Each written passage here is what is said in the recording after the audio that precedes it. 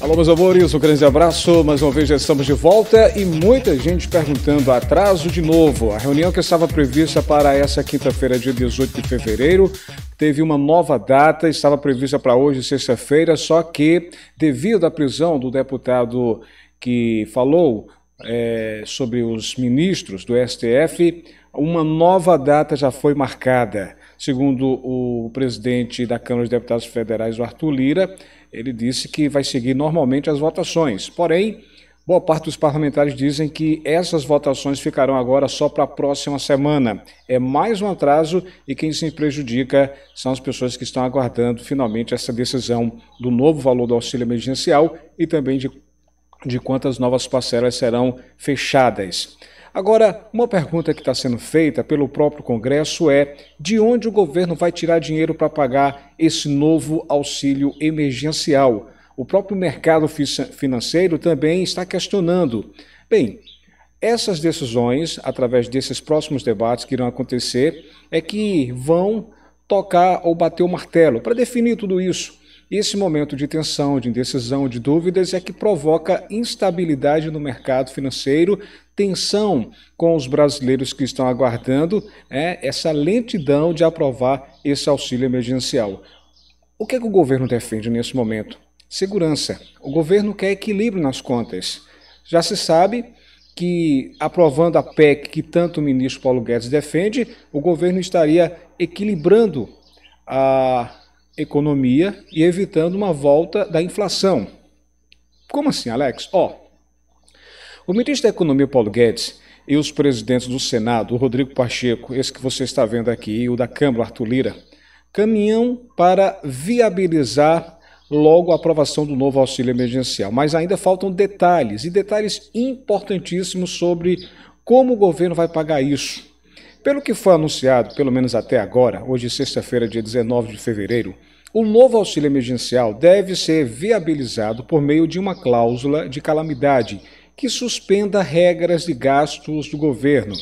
O governo federal deseja que o benefício seja destinado a menos pessoas e em um valor menor, 200 ou 250 reais. Com isso, a conta ficaria em algo como 30 bilhões de reais, bem menos do que aqueles 293 bilhões repassados no ano passado, segundo dados do painel de monitoramento do Tesouro Nacional para os gastos da Covid-19.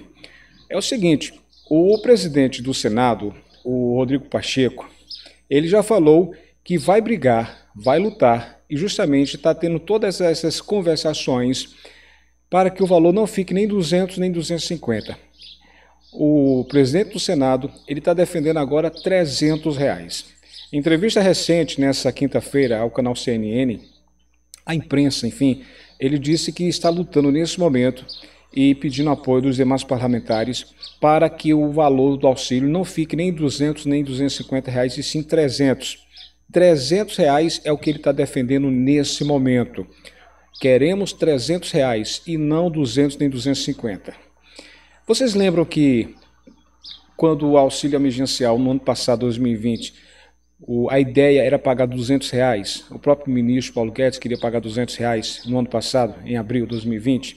E aí to, e, houve toda aquela conversação, aqueles debates, e aí o Congresso resolveu aprovar 500 reais. E depois, quando estava quase certo, 500 reais, aí o presidente disse, nem Guedes, nem o Congresso, eu vou fechar em 600. Aí o presidente Bolsonaro foi e fechou a medida provisória em 600 reais. O que é está acontecendo agora é que o Congresso pode fazer isso. O Congresso, o governo está querendo 200 ou 250, tudo indica que vai ficar em 250, pelo que o governo, pelas conversações do governo, no ministro Paulo Guedes, mas aí o Rodrigo Pacheco já bateu o martelo e disse: queremos 300. 200 e 250 é muito pouco e 300 reais não é o ideal, mas é bem melhor do que 200 ou 250. Segundo o ministro Paulo Guedes, a medida de segurança que tanto demora para que haja esse debate, essas, essas definições, viria com compensações financeiras. Até agora, a principal ação de corte de despesas mencionada pelo ministro foi o congelamento do salário de servidores públicos. A ideia é que os mecanismos sejam incluídos nas propostas de emendas à Constituição, as famosas PECs emergencial e do Pacto Federativo que tramitam no Congresso desde 2019. A expectativa é de que os dois textos sejam unificados, debatidos e votados já na próxima semana. Agora, não há nada formalizado, pelo menos essa é a previsão. O Pacheco agora não quer 200 nem 250. A ideia agora é aprovar 300 reais. Alex, por que, que não aconteceu essa reunião ainda? Bem, a previsão iria acontecer ontem, dia 18 de fevereiro, mas devido ao episódio daquele deputado que falou mal, é, criticou o, o, o, STF, né, o Supremo, e aí ele agora está preso, a, o, a Câmara, os deputados federais do Congresso, é, deixou o processo lento que seria votado ontem, infelizmente, lamentavelmente, agora está demorando. E isso vai ficar provavelmente já para a próxima semana. Essa é a questão. A boa notícia é de que o presidente da, do Senado quer e está pedindo apoio dos demais parlamentares que debatam e aprovem 300 reais. Do mal, né? Do mal de, de toda essa conversação de atraso, de valores, o que chama atenção é que o presidente do Senado agora está defendendo 300 reais e não 200 e 250. 300 reais seria o ideal. Vamos torcer que isso aconteça. Qual é a sua opinião sobre isso? Comenta aqui. É importante saber o que é que você acha, tá? Processo muito lento e aí essa lentidão deixa né, as pessoas na expectativa, as pessoas tensas, as pessoas desempregadas, a fome batendo, mas de 200 e 250, quatro parcelas agora fala-se em 300, queremos 300 reais. Vou deixar com você para você dar sua opinião, tá? Não esquece, dá um joinha, dá um like aqui, é importante você fazer isso, dessa moralzinha, você que gosta do nosso trabalho, você que aprecia as nossas informações, aqui é para você se inscrever, tá vendo aqui o nome inscrever-se destacado em vermelho? Clica nele, fazendo isso, vai aparecer um sininho, nesse sininho você clica em todas as notificações, para quê? Quando tiver vídeo novo, o próprio YouTube irá avisar você. Combinado? Fez isso? Seja bem-vindo aqui ao nosso canal, o canal Campeão compartilhe esse vídeo no seu grupo do WhatsApp, na linha do tempo do seu Facebook. É importante que mais pessoas sejam alcançadas com essas informações. A informação aqui é de primeira e o principal verdadeira, doa quem doer. A gente traz a notícia até você todo dia, o dia todo, para sua reflexão, para sua informação, um verdadeiro resumo do que está acontecendo e você, lógico, tira as suas próprias conclusões. Para a semana agora, né? É mais uma semana, é mais um período tenso, lamentavelmente. O grande prejudicado nesse momento é a população.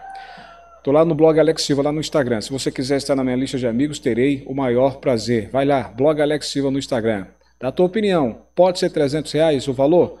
O presidente do Senado já está pedindo apoio dos parlamentares. Vamos votar e vamos debater que seja 300 reais. As quatro parcelas de 300 e não o que o governo quer, 200 ou 250.